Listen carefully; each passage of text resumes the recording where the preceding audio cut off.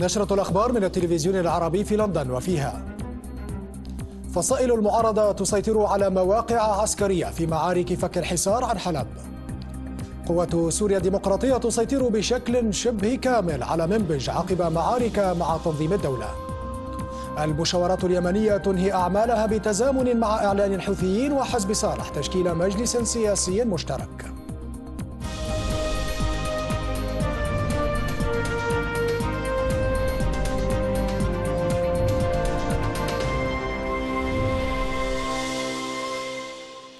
مرحبا بكم إلى هذه النشرة ونستهلها من سوريا حيث تستمر هجمات فصائل المعارضة السورية المسلحة على مواقع استراتيجية تابعة لجيش النظام في ريف حلب في محاولة منها لفك الحصار المضروب على مناطق نفوذ المعارضة في أجزاء واسعة من المدينة. وركزت المعارضة المسلحة عملياتها على مواقع استراتيجية من بينها مجمع الأكاديميات العسكرية. هكذا بدت أهم قاعدة عسكرية للنظام السوري في حلب من الجو. المجمع المعروف باسم كلية المدفعية تعرض لقصف بجميع أنواع الأسلحة التي تملكها فصائل المعارضة السورية. وتظهر صور بثتها الفصائل النار والانفجارات تلتهم مباني الأكاديميات العسكرية المختلفة. أما من الأرض فيتضح حجم القتال الدائر واشتباك الأطراف من على مسافات لا تتجاوز مئات الأمتار. وبينما تؤكد المعارضة أنها سيطرت على كلية المدفعية يقول الجيش السوري إنه صد الهجوم وقتل المئات من المسلحين. تقع القاعدة في حي الراموسة الذي يفصل بين المناطق التي تسيطر عليها الفصائل المسلحة في الأحياء الشرقية من مدينة حلب وجنوب وجنوب غرب المدينة. وتسعى المعارضة إلى كسر الحصار الذي يفرضه النظام على نحو ربع مليون مدني في الأحياء التي تسيطر عليها شرق المدينة. وتبعد قاعدة المدفعية نحو كيلومترين عن منطقة المعارضة المحاصرة وتوجد بالقاعدة كمية كبيرة من الذخيرة وتستخدم بشكل منتظم لقصف المناطق التي تسيطر عليها المعارضة في حلب وتحاول المعارضة اقتحام شريط من الأرض تسيطر عليه الحكومة لإعادة ربط قطاعها المحاصر في شرق حلب بأراض تسيطر عليها في غرب سوريا لتكسر بذلك الحصار فعليا. وسيؤدي سقوط هذا الشريط أيضا إلى عزل غرب حلب الذي تسيطر عليه الحكومة. وتمكنت قوة سوريا الديمقراطية التي تحاول إخراج مقاتلي ما يعرف بالدولة الإسلامية من مدينة منبج السورية تمكنت من السيطرة بشكل شبه كامل على المدينة وفق ما أعلنه المرصد السوري لحقوق الإنسان. وقال متحدث باسم المجلس العسكري لقوات المعارضة المتحالفة مع قوات سوريا الديمقراطية إن المعارك ما زالت مستمرة مؤكدا أن نحو 90% من مساحة منبج أصبحت خالية من مسلحي تنظيم الدولة. وكانت قوات سوريا الديمقراطية التي تضم وحدات حماية الشعب الكردية ومقاتلين عرب قد شنت حملتها منذ شهرين بدعم أمريكي لطرد مسلحي التنظيم من آخر جزء يسيطرون عليه على الحدود السورية التركية. وينضم إلينا مباشرة شرفان درويش المتحدث باسم المجلس العسكري لمنبج وريفها سيد درويش كيف تسير المعارك الآن؟ وهل باتت قوات المعارضة قريبة من أحكام السيطرة بشكل شبه كامل على منبج وريفها؟ آه، بالتأكيد. تحياتي لكم ولمشاهدينكم. المعارك مستمرة وحملات التحرير مستمرة. آه، طبعا أصبح نحن في اليوم السابع بعد الشهر الثاني من المعارك. نحن في المرحلة الأخيرة من تحرير معارك تحرير منبج آه، نسيطر على أكثر من 90% من المدينة. والمعارك تبعد عن مركز المدينة حيث يتحصن عناصر داعش حوالي 200 متر على مركز المدينة وعناصر داعش هم الآن آه، متمركزون داخل المدينة في محيط 10% في المدينة القديمة ونحن مستمرون في آه، حملة تحريرنا ونحن ندخل الآن المرحلة الأخيرة. بعد السيطرة على الطرف الغربي والطرف الجنوبي والطرف الشرقي من المدينة الآن داعش لديها بعض الأحياء في مركز المدينة وحي السرب الذي يقع شمال المدينة. فقط بقي متحصر في تلك المناطق ونحن مستمرون آه، في حملة التحرير والمعارك مستمرة الآن. نعم هذا في مدينة منبج ماذا عن ريف مدينة منبج هل لا يزال آه، آه، يعني مقاتلو تنظيم الدولة لديهم تواجد في هذه المناطق؟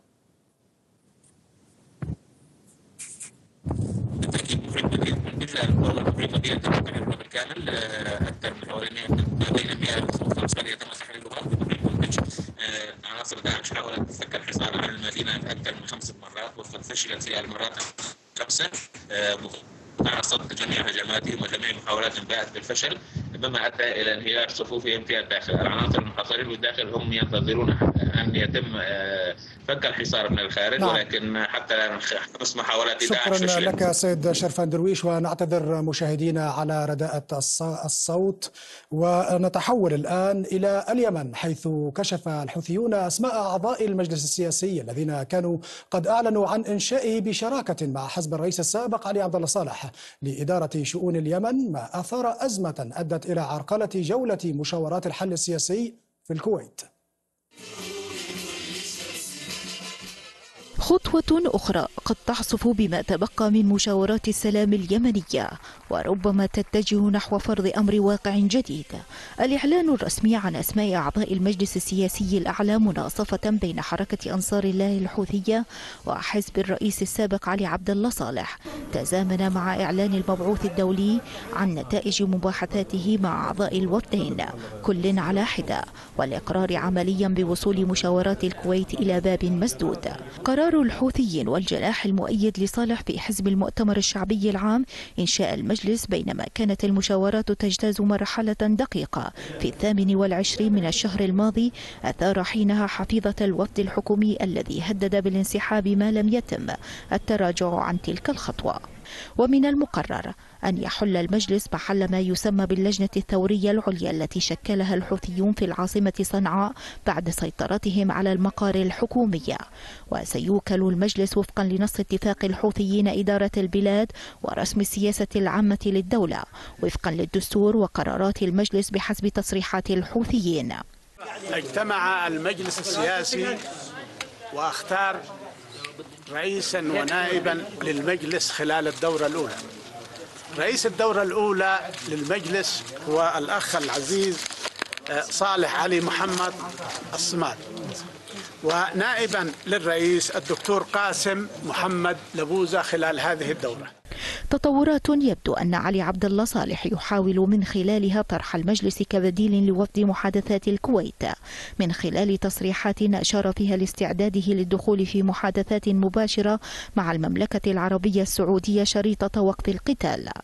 وألمح صالح بلغة واثقة بأن هذا المجلس سيغير المعادلة والخارطة السياسية بعدما وصفه بالتحالف التاريخي بين حزبه المؤتمر الشعبي العام وجماعة الحوثي. ويرى محللون في الاتفاق ميثاقا لتسوية حسابات وإقامة توازنات داخلية بين الحوثيين وحزب صالح لتقوية موقفهم السياسي والعسكري في اليمن. بينما يرى آخرون أن له تداعيات خطيرة على مستقبل التسوية السياسية والعسكرية ووحدة اليمن. ومن المرتقب أن يعلن المبعوث الدولي إلى اليمن إسماعيل ولد الشيخ أحمد تعليق مشاورات السلام واستئنافها لاحقا في إقرار ضمني بفشل التوصل إلى اتفاق بين طرفي الأزمة اليمنية. وكان المبعوث الدولي قد أعلن نتائج سلسلة لقاءات عقدها على انفراد مع الوفد الحكومي من جهة ووفد الحوثيين وحزب صالح من جهة أخرى لمناقشة تصوراته للجوانب السياسية والأمنية والعسكرية التي تضمنها مقترحه لحل الأزمة اليمنية بالإضافة إلى البيان الختامي لمحادثات الكويت. ميدانيا سيطر الجيش الوطني والمقاومة الشعبية اليمنية على قرية ملح وقرية الحول وتلة القناصين وجبل المنار المطل على منطقة المديد في مديرية نهم شرقي العاصمة صنعاء.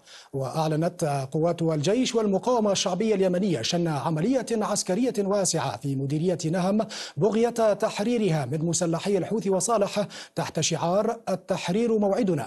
وتأتي العملية ردا على الخروقات العسكرية المتكررة لقوات الحوثي وصالح في نهم. على صعيد آخر دعا الجيش اليمني سكان العاصمة صنعاء وضواحيها للابتعاد عن مقار الحوثيين ومواقعهم وأماكن تجمعهم حفاظا على أرواحهم متوعدا بالتعامل بحزم مع أي مظاهر مسلحة في المنطقة ومعنا من صنعاء مراسلنا خليل القاهري خليل تركيبة هذا المجلس هل تدفع ربما نحو تسوية سلمية للأزمة أم بالعكس ربما تدفع نحو التصعيد؟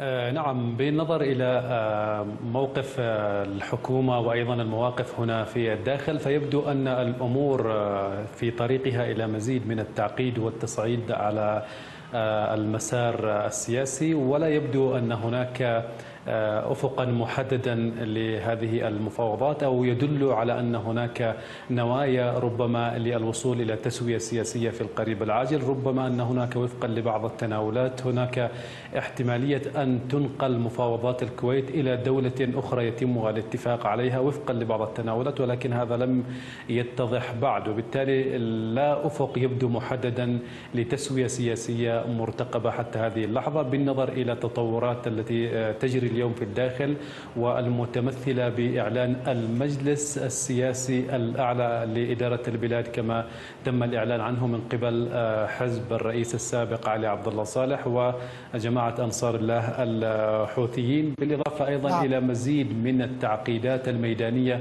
في أكثر من محافظة نعم. يمنية على ذكر على ذكر الميدان في التطورات آه، الميدانية خليل على ذكر التطورات الميدانية عملية التحرير موعدنا التي أطلقها الجيش اليمني ما حجم هذه العملية وهل تقتصر على استعادة العاصمة صنعاء فقط أم هي ربما ستشمل مناطق أخرى في مرحلة أولى؟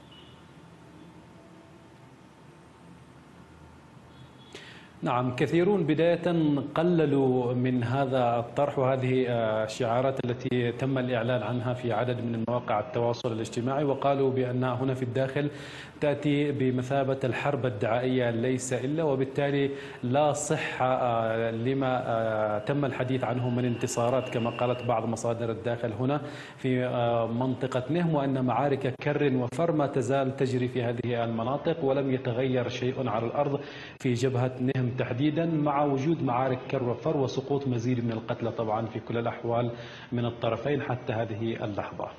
مراسلنا من صنعاء خليل القاهري شكرا جزيلا لك. أكد مركز إعلام الأسرى الفلسطينيين التابع لحماس أن أسرى الحركة المضربين عن الطعام في السجون الإسرائيلية توصلوا لاتفاق مع سلطة السجون ينهون بموجبه إضرابهم عن الطعام.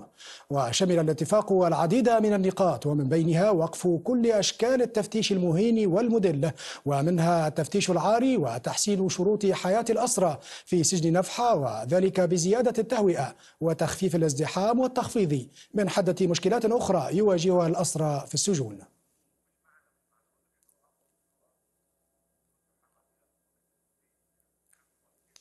في الشأن الفلسطيني أيضا أفادت مراسلتنا بأن قوات الاحتلال الإسرائيلي نفذت فجر اليوم حملة مداهمات في مواقع مختلفة من الضفة الغربية واعتقلت قوات الاحتلال خلال الحملة أسيرا محررا في العبيدية شمال مدينة بيت لحم. كما اقتحم جيش الاحتلال منازل أسر فلسطينية فجرا في مدينة الخليل وسلمت عددا من الشبان بلاغات أمنية لمراجعة مراكز شرطة الاحتلال. قالت مصادر محلية في محافظة كركوك العراقية إن ما يعرف بتنظيم الدولة الإسلامية أقدم على قتل عشرات المدنيين المحتجزين في قاعدة البكارة العسكرية في بلدة الحويجة. وأكد المصدر أن عمليات القتل طالت 62 مدنيا من بينهم امرأة بدعوى محاولتهم الهرب من الحويجة ومناطق خاضعة لسيطرة التنظيم. وتوقعت المصادر أن ينفذ التنظيم سلسلة أعدامات أخرى بحق دفعة جديدة من المحتجزين لديه وأكدت مفوضية الأمم المتحدة لشؤون اللاجئين من جهتها احتجاز التنظيم لقرابة ثلاثة آلاف مدني حاولوا الهرب من المناطق التي يسيطر عليها بمحافظة كركوك. أعلنت مصادر عسكرية مقتل سبعة من عناصر قوة ما يعرف بعملية الكرامة الموالية لبرلمان تبرق في اشتباكات مسلحة مع جماعات تطلق على نفسها اسم مجلس شورى المجاهدين في منطقة الظهر الحمر على أطراف مدينة درنة في الشرق الليبي. وأعلنت قوات الكرامة الموالية للواء المتقاعد خليفة حفتر قرب بدء عملية اقتحام مدينة درنة وإطلاق عملية عسكرية ضد جماعات مناهضة لبرلمان تبرق في المدينة. التي تم استرجاعها مما يسمى بتنظيم الدولة الإسلامية قبل نحو عام. نشرتنا مستمرة وفيها بعد الفاصل.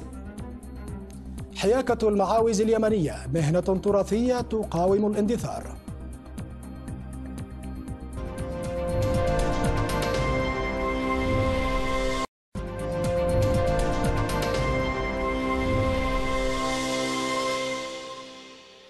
أهلا بكم من جديد. أفاد مراسلنا باعتقال 36 عنصرا على الأقل من عناصر الأمن التركي في إزمير على خلفية التحقيقات في محاولة الانقلاب الفاشلة. كما تم توقيف ستة رجال أعمال أتراك من المدينة ذاتها بتهمة الانتماء لجماعة فتح الله ومنذ محاولة الانقلاب في منتصف الشهر الماضي بدأت السلطات التركية حملة اعتقالات واسعة في مختلف قطاعات الدولة لاجتثاث الأعضاء المشتبه بارتباطهم بجولن المقيم في الولايات المتحدة والذي تتهمه أنقرة بالوقوف وراء عملية الانقلاب الفاشلة. والآن إلى جولة مع أخبار الاقتصاد.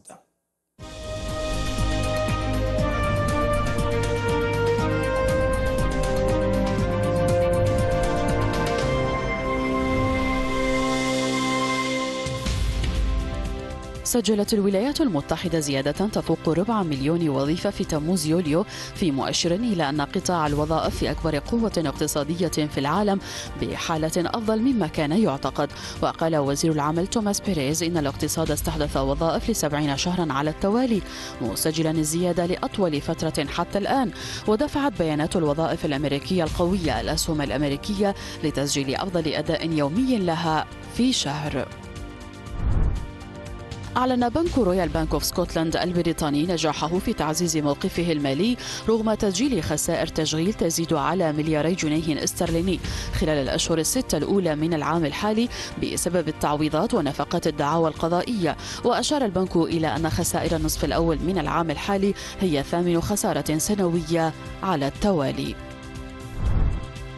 شاركت شركة أمازون دوت كوم لأول مرة بطائرتها للشحن الجوي في عرض جوي في مدينة سياتل الأمريكية. الطائرة المستأجرة من طراز بوينغ 767 تأتي ضمن سعي الشركة لإنشاء أسطول خاص بها لتوصيل الطلبات السريعة. لكن محللين قالوا إن خطة الشركة لبناء الأسطول الجوي الخاص بها تشكل تهديدا كبيرا لشركات التوصيل الرائدة. ذكرت وزارة الاقتصاد الألمانية انخفاض طلبات المصانع الألمانية بنسبة 0.4% في حزيران يونيو الماضي في ظل تراجع الطلب من الشركاء التجاريين الرئيسيين لألمانيا في منطقة العملة الأوروبية الموحدة. وأوضحت الوزارة أن طلبات المصانع من منطقة اليورو انخفضت بنسبة 8.5% وهو ما تم تعويضه جزئيا عبر زيادة في الطلبات المحلية بنسبة 0.7% والطلبات من الدول الأخرى خارج منطقة اليورو بنسبة 3.8%.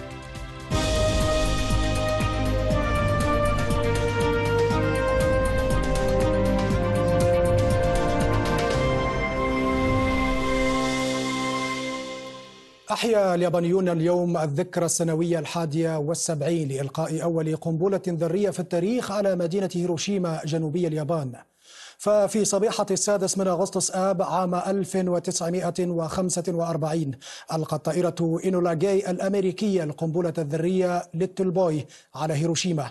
ما أدى لاحتراق القسم الأكبر من المدينة بفعل موجة حرارة بلغت أربعة آلاف درجة مئوية وقضى الآلاف من سكانها على الفور.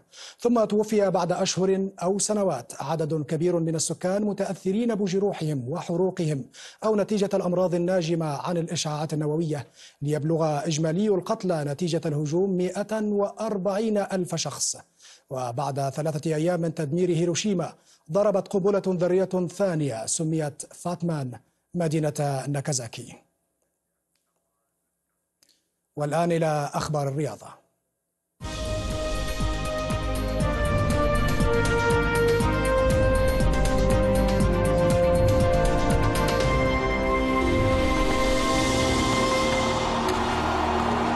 افتتحت دورة الألعاب الأولمبية في مدينة ريو دي جانيرو بملعب ماركانا بحضور نحو 80 ألف شخص. يتقدمهم 45 رئيس دولة وحكومة.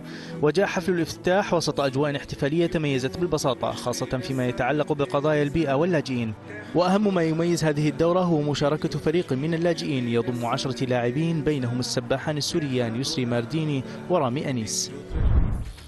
يلتقي نادي برشلونة الإسباني اليوم. نادي ليفربول الإنجليزي في ملعب ويمبلي في العاصمة البريطانية لندن. ضمن منافسات بطولة كأس الأبطال الودية الدولية. ويسعى برشلونة صاحب الستة نقاط في المركز الثاني للفوز لتصدر ترتيب فرق البطولة التي يتصدرها باريس سان جيرمان برصيد تسعة نقاط بينما ليفربول صاحب المركز السادس برصيد ثلاثة نقاط. قدم الاتحاد الأرجنتيني لكرة القدم المدرب الجديد إدغاردو باوزا الذي تسلم قيادة المنتخب الأول خلفا للمدرب المستقيل جيراردو مارتينو الذي استقال بعد أسابيع من خسارة منتخب الأرجنتين أمام منتخب تشيلي في نهائي بطولة كوبا أمريكا في يوليو الماضي. وأول مباراة للمنتخب الأرجنتين بقيادة باوزا ستكون أمام منتخب الأوروغواي في الأول من سبتمبر المقبل. صعد الأسترالي نيك كيريوس المصنف الثاني إلى الدور قبل النهائي لبطولة أتلانتا للتنس للرجال. وفاز كيريوس في الدور الثامن للبطولة المقامة في الولايات المتحدة على الإسباني فرناندو فرداسكو المصنف خامسا بمجموعتين مقابل مجموعة واحدة بواقع 6-4 و6-7 و6-3